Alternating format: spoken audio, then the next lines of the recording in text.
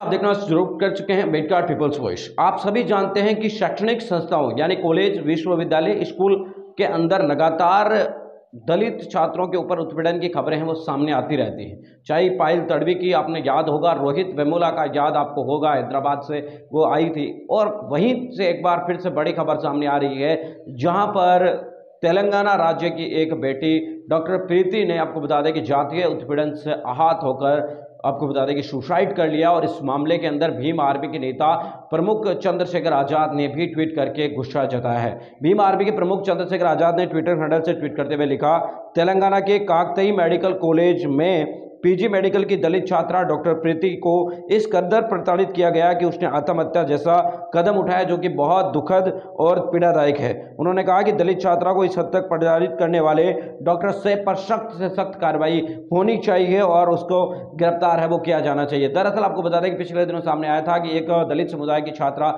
जो कि तेलंगाना के काकतई मेडिकल कॉलेज में अध्ययनरत थी और दलित समुदाय से आती थी डॉक्टर प्रीति, जो कि लगातार अध्ययनरत थी। उनकी आपको बता दें कि जातीय उत्पीड़न और अन्य उत्पीड़न के मामले के चलते वो इस तरीके से प्रताड़ित हुई कि उसने सुसाइड जैसा गंभीर कदम उठाया और अपनी मौत आपको बता दें कि गले लगा लिया और एक बार फिर से जो मामले पायल तड़वे के रोहित वेमुला के हुए थे, उसी तरीके की याद एक बार फिर से आई है। तो इस मामले के अंदर भीम आर्मी के द्वारा सख्त से सख्त कार्रवाई करने की मांग की गई है। मिलेंगे इस वीडियो अपडेटों के साथ। अब तक आपसे लेते विदा। लाइक कीजिए कमेंट कीजिए और शेयर करना